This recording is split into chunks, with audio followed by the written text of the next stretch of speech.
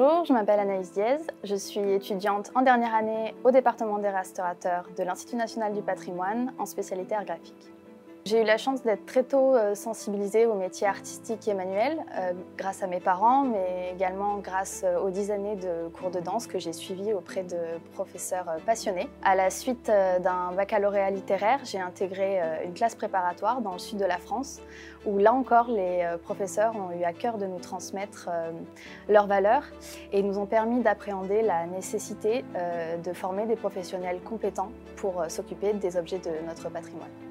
Aimer les œuvres d'art, c'est une chose, mais comprendre leur technicité, s'intéresser aux enjeux de leur préservation et euh, à la recherche scientifique est primordial pour pouvoir répondre au mieux à leurs besoins. Et c'est entre autres ces notions qui euh, m'ont poussée à devenir restauratrice du patrimoine. Pour cette année de mémoire, j'ai choisi de travailler sur une peinture chinoise en rouleau conservée au Musée national des arts asiatiques Guimet.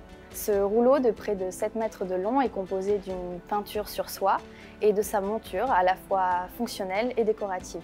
Il aurait été acquis par Émile Guimet lors de son voyage en Asie en 1876 pour constituer la base de la collection du musée.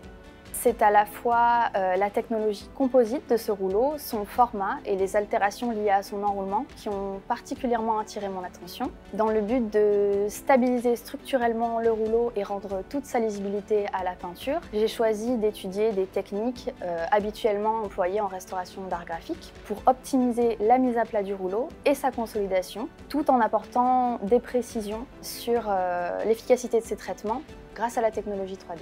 Finalement, je n'ai découvert la restauration qu'assez tard dans mon parcours. Donc, euh, pour moi, la façon la plus simple d'intéresser les gens au patrimoine, c'est de mentionner davantage ces différents corps de métier, que ce soit dans le parcours scolaire des collèges et lycées ou euh, dans la sphère plus médiatique.